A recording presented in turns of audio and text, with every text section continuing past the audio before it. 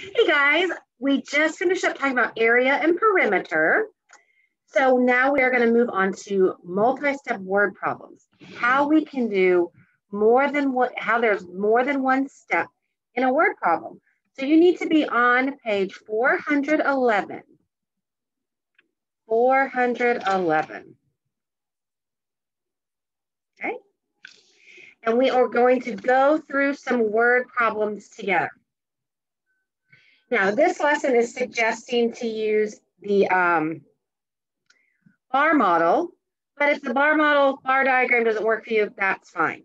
So let's just jump right in and examine our problems. Josie has $145. She buys a bike for $127. There's a clue word in that sentence. She buys. So is the money going to go away? Mm-hmm. Next week, she saves $15. Saves is another clue word. To get bigger. How much money does Josie have now? Complete the bar diagrams. So we're going to go through this bar diagram because it's here. And with the other problems, if it doesn't work for you, don't do it. Okay? Just know that you're going to be doing more than one step today. So the altogether number, we start off with $145 because that's how it says that's how much she has. She buys a bike for $15, for $127. Okay. And then she saves 15 and we want to see how much she has at the end. So we start with 145. What are we going to do with the 127? We're going to subtract because she's buying it, so her money's going away. So that's going to be here. So 145 minus 127. I start with my five fingers, can't take seven away. Go next door, get 10 more. 15 minus 7 is 8, 3 minus 2 is 1, and 1 minus 1 is 0. All right, so that's how much money she has left over. She started with 145. We took $127 away. Now, this is how much money she has left over. But we're trying to find out how much money she has now. Okay, so this line is the all together money. Well, she had she had $18 left over from the bike. She saves $15 more. So we are adding to get that all together number. So I know that the bar diagram can be confusing and that's fine. If you just wanna write the problems out like that, that's fine too. So let's review it. She starts with 145. She buys the bike for 127 and she's got 18 bucks left over. Then she saves 15 more. So we're adding that, okay? Let's see. Let's go down to number three. We're just practicing multi-step word problems today. Okay. Manuel's family drove from Louisville to Indianapolis, here, to Detroit, then directly drove back to Louisville. How much farther did they drive than going to Detroit than returning from Detroit? Okay, so starting off, Louisville to Indianapolis is 114. And then Indianapolis to Detroit is 238, 283, excuse me. And then at the end, it was 361. So those are my numbers there. So what are we going to do first? So we want to find out from Louisville to Indianapolis and Indianapolis to Detroit is, right? We need to know the red route. Yes, we would add those two together. All right. And now you get 8 plus 4 is 12, 3, 4, 5. I got 352. Now I look back in the question, it says how much farther is this route than this route?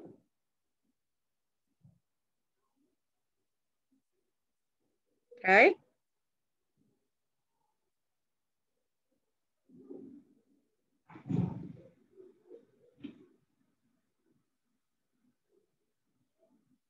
Did I add wrong? Oh, I added wrong. Oops. It was 283, not 258. I was like, what is going on? You were probably confused there too. 114 plus 283. That's a big oops. All right, 4 plus 3 is 7. 8 plus 1 is 9. 2 plus 1 is 3. Okay, now we're on the right track. Sorry about that. Even grown-ups make mistakes. Okay, so now we have this the whole red line. We want to know how much farther this is than the yellow line. So would we add them together? No, because that would give us more miles. We want to know how much farther, how much more, which means we subtract. So we're taking our red route because it's longer and subtracting our yellow route. 7 minus 1 is 6, and 9 minus 6 is 3. 36 miles farther. The red route is 36 miles farther. So also, one other thing is when you have more than one step, be sure to circle your answer at the end. Otherwise, teachers don't know which one is your answer. Okay? Let's flip it over. We're going to be using this to solve number five. Write equations to find out how many more tickets were sold for the roller coaster on Saturday than for the swings on both days combined. We talked about that before. Use, we don't have to worry about all that. We're just going to solve the problem. All right, how many more were sold on Saturday, roller coasters were sold on Saturday than the swings on both days combined. So what are we gonna do with the swings? We're combining them. 138, let me make sure I write the numbers down. If we had been in class, I bet five of you would have said, Miss Peters, you wrote it down wrong. All right, eight plus four is 12, five plus four is nine, one plus 292. Okay, and it's asking how many more tickets were sold for Saturday. So what are we going to do now? Subtract. 486 minus 292. Four, oh, eight fingers, can't take nine away. Go next door, get 10 more. 18 minus 9 is 9, and 3 minus 1, 2 is 1. Okay, so we had to find out the swings first and then we can subtract it. With multi-step word problems, you really have to do it one thing at a time and really think about what they're asking. That's why we're circling and boxing clues. Okay, let's go down to number eight. Matt had 327 plastic bottles for recycling. He recycled 18 bottles on Monday and he recycled 123 on Tuesday. How many bottles does he have left? Hmm. Am I going to add 327 to 118? No, that's how much she has altogether. Our number is not going to get bigger. So we need to know we've got Monday and we've got Tuesday. So what should we do with those two numbers? We need to add Monday and Tuesday. 8 plus 3 is 11. 2, 3, 4, 2. Okay. So we have to add Monday and Tuesday first, and then what do we do? We add that to 327? No, because 327 is the altogether number. We need to know how many more bottles he needs. So we are going to subtract 327 minus 241. 7 minus 1 is 6. Oh, two fingers, can't take four away. Go next door, get 10 more. 12 minus 4 is 8. Remember to circle. He needs 84, 86 more bottles to recycle to hit that 327 number. Okay.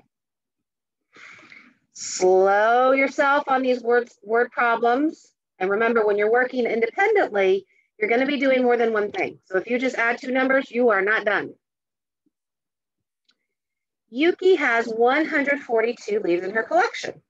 She gives 25. Oh, gives means it goes away to her brother and then collects 19 more.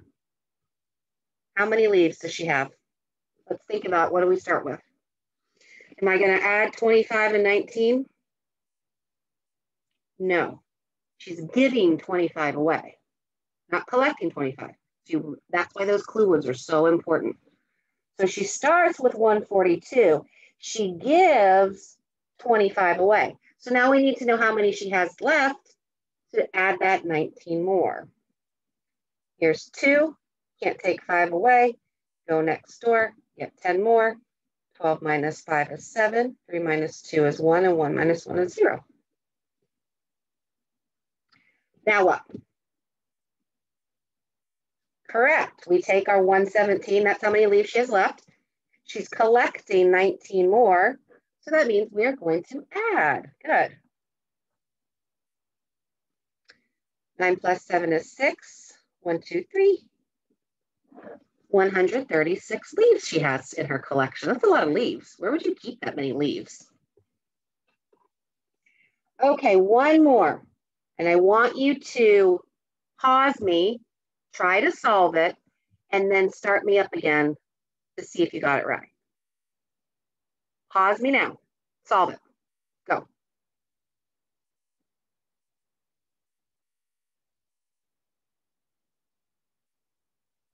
Okay, hopefully you followed my directions and paused it and tried it on your own.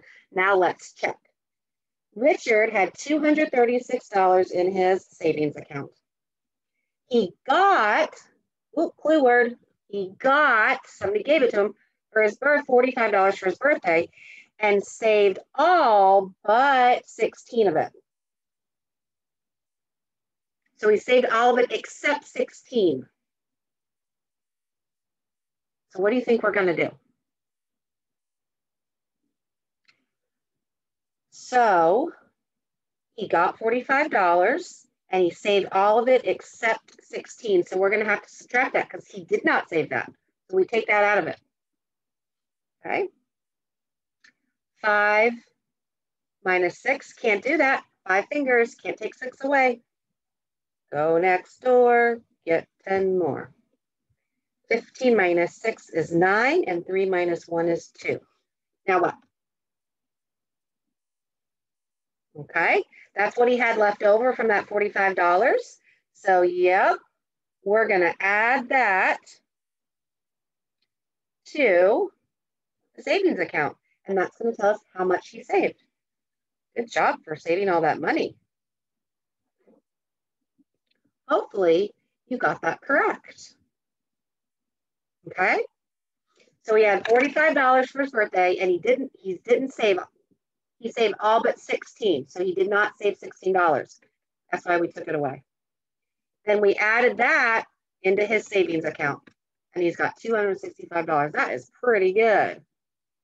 Hopefully that made some sense for you. Step-by-step -step word problems, one step at a time. And you really have to think critically. What do I need to do first? What is it really asking?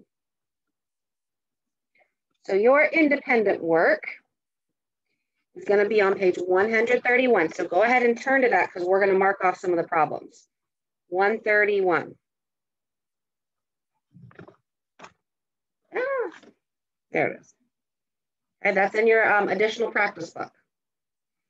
Okay, you're going to do number one and mark out number two. Okay. And then on the back, you're going to do four, and you can mark out using the estimates. Five. You can mark out, if you don't want to do the bar diagram, like I said, don't do it. Just solve it like we did together. Okay, so you do not have to complete the bar diagram if you do not want to. Okay six. Yes, it says explain, you do not have to. And seven and eight. Okay, so these problems are gonna be solved very much like we just did together. So you might wanna have that with you as a guide. Plus, in your homework book, at the top of the front page, there's always some extra, oh, that's not the front page. There's always extra directions. Okay, so it's like having a mini teacher in your book. We're gonna continue working on um, multi-step word problems next week. Okay, and I promise they do get easier. And make sure you get it checked. This is a big skill, so make sure you get it checked.